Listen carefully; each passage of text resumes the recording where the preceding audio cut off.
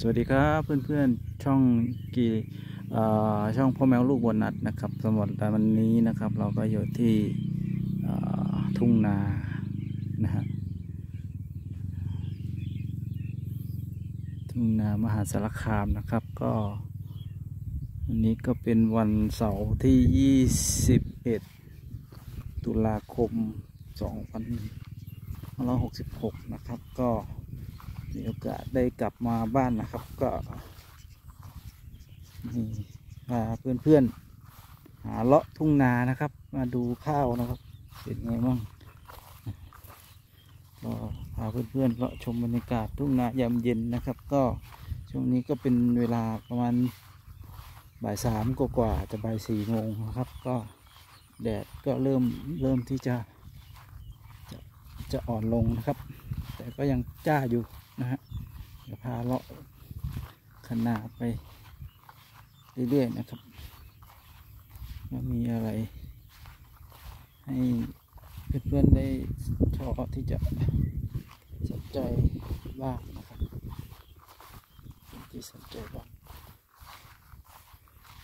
ก็ข้าวกำลังออกรวงนะครับกำลังออกรวงอ่อนๆนะครับยังไม่แก่นะครับ อีกประมาณเดือนหน้าก็น่าจะ ได้เก็บเกี่ยวแล้วนะครับ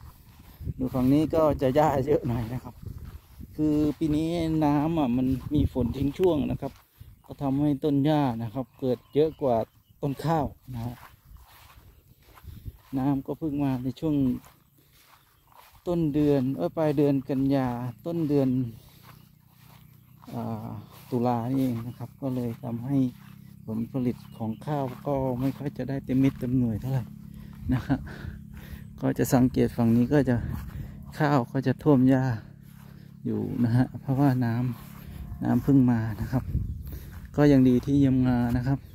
มาช้าก็ยังดีกว่าไม่มานะฮะก็ก็เรียกได้ว่ามาทันเวลาพอดีนะฮะก็พอได้เก็บเกี่ยวพอได้กินนะครับ ส่วนฝั่งนี้เนี่ยก็หญ้าเยอะกว่าข้าวนะครับ ก็เป็นนาหวานนะครับ ก็เลยจะดูแล กันประมาณนี้นะครับนาหวานนะครับ ก็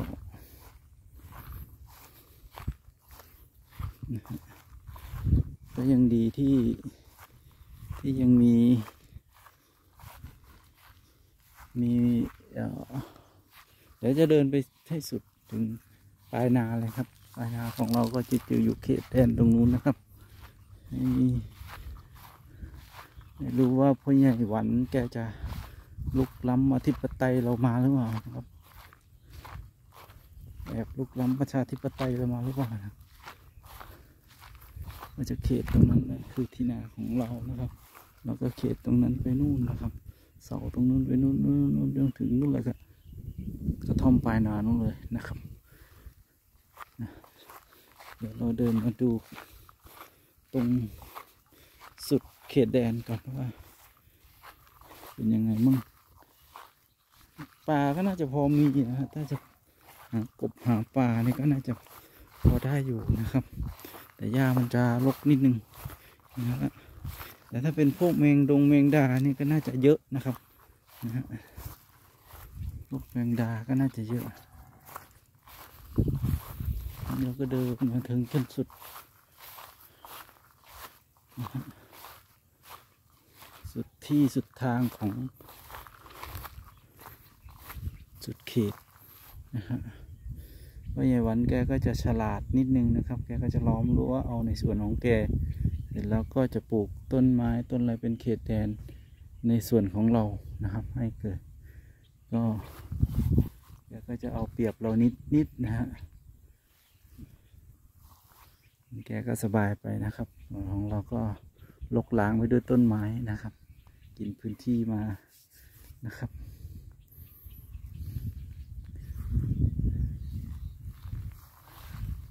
ก็ไม่ว่ากันนะครับก็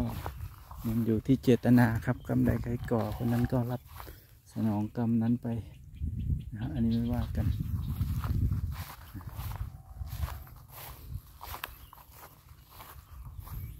คิดดีก็จะได้ดีคิดชั่วก็จะได้ชั่วนะตามนั้น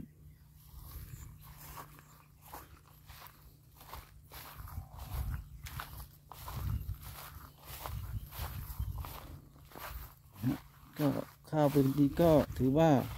น้ำมาล่าช้านะครับ ในส่วนของอข้าวก็ก็กำลังออกรวง ก็ในส่วนของปลาเนี่ยก็จากที่จับมาได้นี่ก็จะตัวเล็กๆนะตัวไม่ใหญ่นะครับตัวเท่าไม่มือไม่เท้านะครับเนื่องจากว่าน้ำไม่มี ทำให้ปลาตัวเล็กนะครับแล้วก็จะถึงช่วงฤดูเก็บเกี่ยวแล้วก็ล่วงเลยไปถึงช่วงที่จับปลาปลาเข้านาก็คือตรงนั้นก็จะเป็นบ่อสำหรับไว้ให้ปลามาอาศัยอยู่ตามธรรมชาตินะครับ ก็จะเป็นปลานานี่ก็จะเป็น หอยเชอรี่นะครับ มันขึ้นมาวางไข่นะครับ ก็ดูว่ามันจะได้เท่าไหร่ปีนี้นะครับ จะพอได้อยู่ได้กินไหมจะพอได้แบ่งปันซื้อขาย อะไรหรือเปล่าพอให้ลูกให้หลานได้เลี้ยงลูกเลี้ยงหลานให้ถึงปีหรือเปล่านะครับ เออตัวนี้ก็ไม่ค่อยจะดีแล้ว อันนี้ก็นะฮะอันนี้ก็ก็ต้องคอยดันนิดหน่อย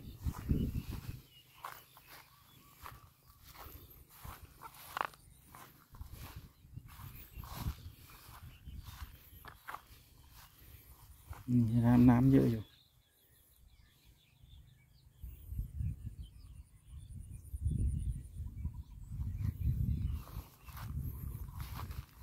เอาบรรยากาศแบบเงียบสงบแล้วกันเนาะกลางทุ่งไร่ทุ่งนานะครับ ก็จะไม่มีอะไรนะใครชอบแบบนี้ก็ฝากกด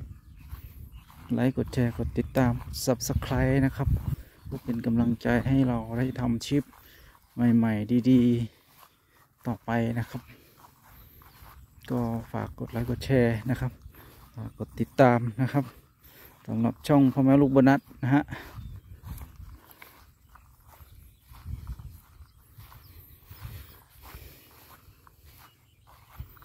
อันนี้ก็จะห่างๆหรือห่างๆนิดนึง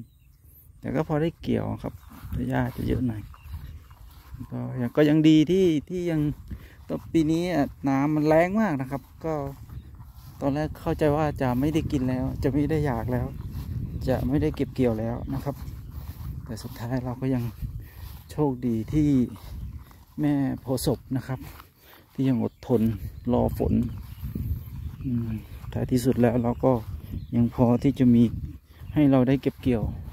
ไว้กินในปีหน้า ให้พอดีจังหวะพอดีนะครับ ก็ขอบคุณเทวดาฟ้าดินนะครับ ขอบคุณธรรมชาติที่ยังเอ่อ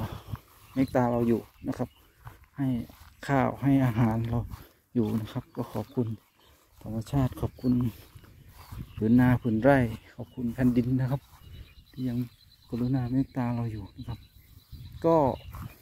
ประมาณนี้ส่วนตัวนี้ก็จะเป็นนาดำนะครับดำมันก็จะดู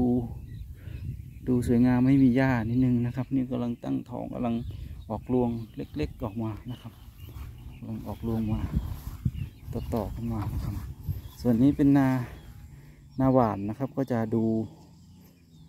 ดูไม่เป็นระเบียบนิดนึงแต่ว่าก็จะจะจะ ลำก็จะเล็กนิดหนึ่งต้นก็จะไม่ไม่ค่อยสมบูรณ์เพราะว่ามันจะเกิดแข่งกันกับหญ้านะฮะส่วนอันนี้มันจะหญ้าแข่งไม่ได้ เพราะว่าเราไถพรวนเสร็จแล้วก็กระดำนะฮะเอาต้นกล้าดำมันก็จะจะได้ดีกว่านะฮะแต่เพียงแต่ว่าเราต้องใช้แรงงานเราต้องใช้เงินในการจ้างคนมาช่วยดำนะครับ ก็ก็ก็จะข้อเสียก็จะต่างกัน อุ้ยตัวแกอีกแล้ว เจอเจ้าของที่นะฮะแต่โดนซับหัวไปแล้วนะครับนะแปลงนี้ก็จะเป็นนาดำนะครับก็คือก็จะสวยงามนะฮะสมบูรณ์นะฮะก็น่าจะได้สองสองสองงานนี้ก็น่าจะพอพออยู่ได้นะครับ ให้ลูกให้หลานได้ได้ได้ได้อยู่ได้กินได้อยากได้กินต่อไปนะครับนะฮะ ก็ขอจบคลิปเลาะทุ่งนาไว้แต่เพียงเท่านี้นะครับพาชมทุ่งนานะครับ ก็ถ้าชอบก็กดไลค์กดแชร์กด subscribe นะครับกดติดตามช่องของลูกมวลนัดต่อไปนะครับ ช่วยสนับสนุนต่อไปด้วยนะครับ ขอบพระคุณครับ สวัสดีครับ